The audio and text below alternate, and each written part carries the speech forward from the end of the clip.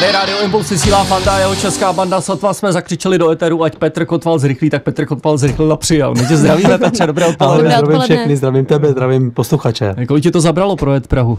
Eh, Bylo to, eh, řekl bych, docela rychlý. Jo, a, Mm, Tunely nesklamali, dneska bylo to vynikající. Když jedeš na vystoupení, řídíš si sám. Eh, Řídím si sám, já jsem takový, ten, mám ten syndrom toho dokonalého, že to dělám všechno nejlíp, všechno. Jo. Takže samozřejmě, i kdybych padal úplně na ústa, tak stejně prostě řídím, protože nevěřím nikomu, kdo sedí za volantem kromě mě. Já jsem se tě vlastně nikdy neptal, co ty a fotbal, jestli ty to sleduješ. Tohle je jediná informace, kterou jsem pochytil o tom fotbale a tím to u mě skončilo. Já vůbec, já jsem antisportovec. Ten Petr Čech teda to, a zamávalo to, Je s tebou. to ne, vyloženě, ano. Říkal Petře, přines něco nového, Petr přinesl písničku.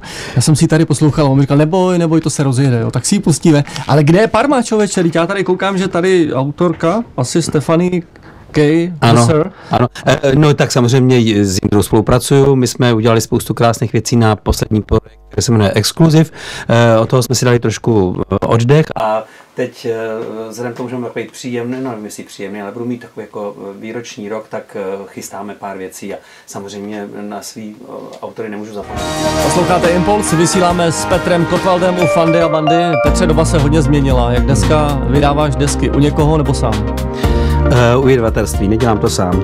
Pořád se snažím, aby to mělo nějaký label, protože samozřejmě uh, do jisté míry se na to nabalujou. Uh, samozřejmě ten fyzický prodej je důležitý, i když dneska ty čísla jsou takový, jaký jsou, ale uh, nabalují se na to další média, elektronický, uh, elektronický prodeje, který už uh, sám člověk nemůže zvládnout. Uh, s malým labelem to je velice těžký, takže z toho důvodu. A funguje to, myslím, docela pěkně. A sociální sítě si spravuješ sám.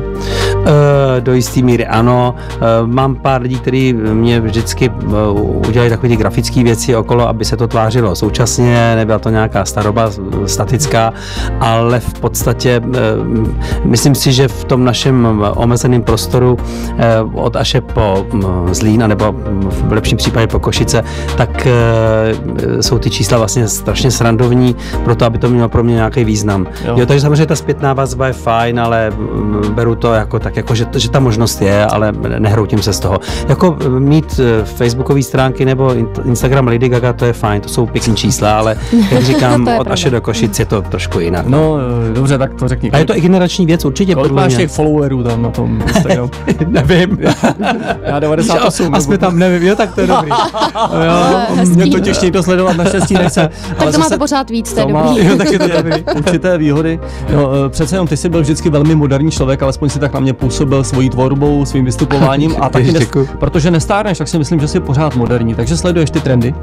Ehm, Snažím se je vnímat, eh, vědět o nich, ale neúplně se nechávám všim strhnout a nechávám tomu vždycky nějaký technologický čas na to, aby to vyhnilo samo, protože ne všechno znamená, co to vznikne a co je okolo nás nový, znamená, že bude fungovat a že je smysluplný. Já už eh, jsem se před lety naučil to se svým šat- časem šetřit do té míry, že dělám jenom věci, které si myslím, že mají smysl, nebo spíš teda, který mě baví. To jsem dělal celý život. Jo, jo. A od toho se odvíjí to, že eh, ten diář už právě před lety, když jsem měl nějaký zdravotní problém, tak jsem eh, ho prostě, nechci, že vyhodil, ale strašně jsem ho pro, proškrtal a říkal jsem, tady nemusím být, to nemusím mít, tam nemusím taky být. A je to strašně úlevující, když si potom začneš vybírat. Je to takový trošku jako o strach, zvlášť když člověk je v uvozovkách na volné noze a stará se sám o sebe, eh, ale je to strašně osvobozující. A to musí mít pořadatel radost, když mu zavoláš a řekneš mu, tam u vás být nemusím teda. E, takhle to nefunguje. Ale e, ne, není to úplně tak, ta, tam, je zase, tam jsou zase na to jiné cesty. V momentě, kdy Už je to domluvený, to tak si prozradím. Ne. ne, to ne, to bych životě neudělal, to, to vůbec ne. Ale v momentě, když ti někdo zavolá a ty víš, že tam nechceš eh, být, tak ten pořad je strašně drahý. Jo, jo, tak jo. a tím je to vyřešený. Fanda s bandou Rádio Impuls, jsme rádi, že přišel Petr Kotval. Tak se ti líbila tahle Lucie, jestli si to stihl odposlouchat. Já se si tady, já se omlouvám, s váma tady povídal, tak jsem jenom to bral jako podkres, tak já se omlouvám, já si to potom poslechnu. Jo? Já, Dobře. líbí. Eh, My jsme tady mluvili o generačním souboji s dětmi, abych ještě začal trochu jinak. a mimo mikrofon jsme o tom mluvili. Mimo mikrofon, to já samozřejmě neřeknu všechno, protože to bylo všechno skrze pozitivní, ale jednu věc přece jenom, když jsme mluvili o tom, že dobře vypadáš, a už tady Rud píše, že vypadáš skvěle, že máš určitě elixír Děkuji. krásy. Je to tím, že člověk um, myslí pozitivně? Ježiš, za prvé se trošku červenám. No, tak no, mám, Jako ta mám mikina, no. mikinu. Uh, to děkuju, ale eh, já nevím, jestli to úplně takhle o tom je. Já si myslím, že to je o, o nastavení člověka. Zaprvé máš geneticky něco dáno, to je, to je daný, a pak jde o to se úplně nezničit, si myslím, během toho života. Sna- Snažit se starat se o sebe tak, aby tady byl co nejdíl. No. To je- navazuje na to, co jsi říkal v předchozím vstupu, že jsi řekl, že tady proškrtám diář, protože takhle to jako... No, no, právě. Když máš tu možnost, je to samozřejmě skvělý. Je to, je to bezvadný, když si můžeš vybrat tu, jakoby, eh, nechci, že zametenou cestičku, takhle to nefunguje, to nechci úplně jako takhle zjednodušovat, ale, ale je příjemný, když eh, se člověk může sám rozhodnout a, to rozhodnutí prostě eh, ti nikdo nějak zásadně ne, nehatí. A ty jsi nadefinoval, kolik v měsíci budeš mít volných dní, nebo existuje něco takového? Ne, takhle, takhle to nemám samozřejmě, ale eh, je fakt, že já jsem fakt měl, jako, to už jsem to předtím naznačoval, nějaký zdravotní problém, když si dávno ve 30, to už je hodně dávno, je před 30 lety.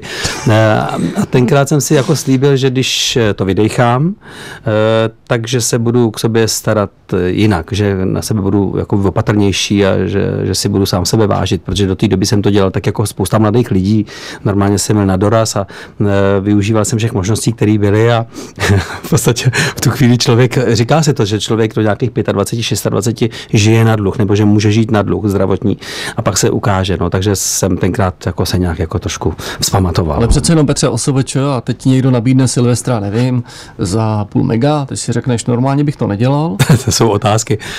E, za půl mega to bych dělal určitě. Jo. No, samozřejmě. Dobře, tak zkusíme, kde je ta hranice 200 pade.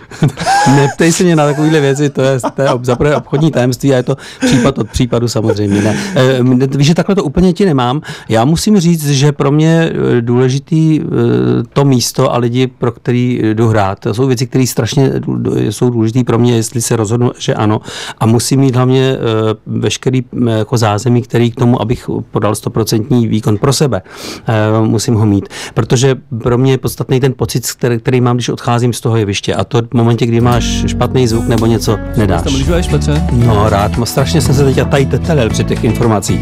Už se moc těším. My jezdíme pravidelně eh, leden nebo únor, ale to se jdu teda až v únoru v půlce, což mě trošku trápí, protože už bych tam rád byl. A pak ještě jedu jednou v březnu. No, kam jezdíš? Uh, my jsme se na, už jsme dřív jezdili Rakousko, hodně okolo uh, Gaštajnu, do Gaštajna, Bad Gaštajna a tak, ale naučili jsme se před pár lety kavaléze a takže jezdíme do Itálie.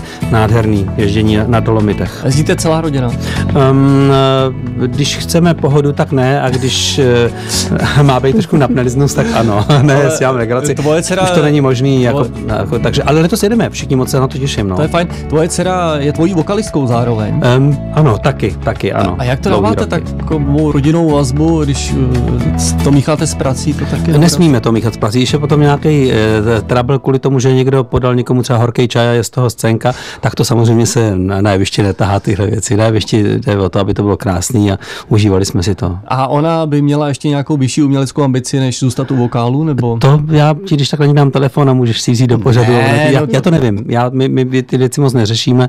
Já, je fakt, že já jsem jí tehdy tak jako krásně zdědil z jednoho vlastně dětského pěveckého sboru, jsem jí a Baru Zárubovou vytah z toho sboru a začal jsem je eh, nejdříve testovat ve studiu na pár projektů, když jsme s Indrou Parmou točili myslím, album právě tady právě teď, to už je pár let.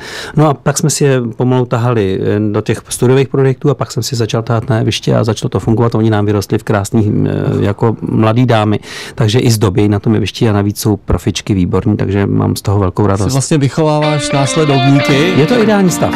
Ano, na impulzu u Fandy a Bandy. Já jsem našel u téhle písničky, že ji napsal jakýsi Miroslav Drljačarus. Mm, to je hezký jméno. No, no, no. No, to je Srb, prosím tě, a český text samozřejmě Pavel Cmíral a já jsem tu písničku, já to řeknu rychle, eh, tu mi donesl producent Jirka Suremka s tím, že eh, bych chtěl, abych ji natočil nespěchej. česky, Čas. protože ta píseň je původně srbská, natočili Toše Projesky, takový jako slavný v tom prostoru, Mhm. mm-hmm. jako spodním, tom balkánským, a tak jako divně zahynul, po, m, eh, tragicky ne vlastní vinou, eh, a tak říkal, že ta píseň ho strašně se mu líbí a abych ji natočil česky, tak jsem řekl nejdřív, že se zbláznil a po dvou letech jsem povolil. Natočil jsem ji a jsem moc rád, že jsem to udělal. Eh, Ten text je fakt, fakt pěkný od Pavla Cmírala. Natočili jsme i klip, který je na mých stránkách třeba teďka k vidění. Takže jsem udělal takový ústupek a vlastně toho nelituju. Jsou to věci, které najednou uděláš, mm, i když se jim někdy bráníš, tak vlastně najednou ti někdo trošku pootevře dveře, ty to zkusíš a zjistíš, že je to vlastně byla správná volba. Hmm. Takže eh, někdy jsem takový hodně zaseklý, konzervativní, ale někdy se nechám zlomit. Tak Jak to. Zkoušejte dál. Jako Lépa Pesmica, to je srbský, moje žena je srbka totiž. Aha, Jsem se aha. na to ptal záměrně, když jsi mi tady prozadil, že Drljača je Srb. Eh, Já bych, jestli dovolíš, udělal takovou inventuru tvých velkých hitů, jestli by si mi jednou větou vždycky mohl říct tvůj pohled na tu píseň. Je Ano. vůbec v tom repertoáru nějaká, kterou už jako nerad hraješ? Jsou tací muzikanti a vůbec se za to nestydí, že některé písně už nemusí. Tak tohle nemám, já miluju ty věci. Já mám jiný problém, že když jdu na jeviště, tak mám problém, co vybrat do toho stanoveného času. Mně ten čas je vždycky krátký. Ale- A vlastně nemám z těch písní eh, žádnou, kterou bych zpívat nechtěl. To je, to je myslím, obrovský štěstí. Tak to zkusme. Gejzír. Uh, a gejzír.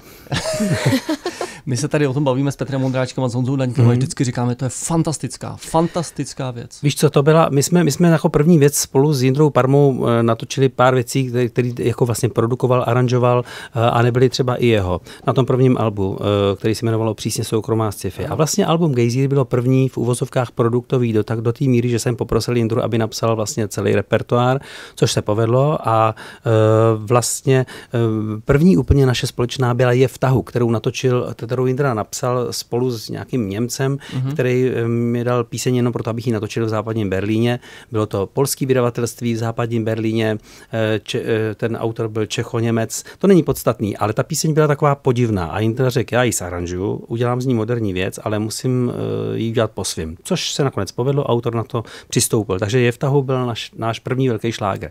Ale nebylo to furt jako ta Jindrovka. Takže ten gejzír je vlastně tou typickou věcí Jindry Parmy, od který se potom odvíjely všechny další, ať už ty jeho hypodromácký, anebo ty naše, eh, včetně satelitu, kde kdo je dál, takový ty obrovský šlágry. A pak samozřejmě milujeme se čím dál víc, který na tom gejzíru původním taky samozřejmě To byl. tady mám napsanou hned jako druhou rovnou ji přeskočíme, protože jsi to vysvětlil Mumulent.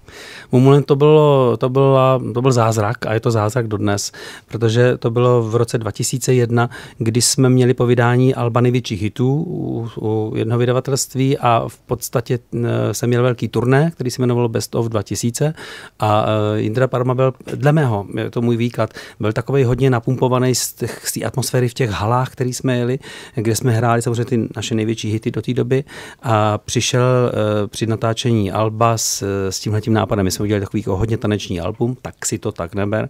A tahle píseň byla taková, že ji přines nakonec. Řekl, hele, já nevím, jestli tam plně se na to album hodí, ale zkus to, uvidíme. A byla to trefa do černého, takže za ten zázrak jsem strašně rád. Marilyn.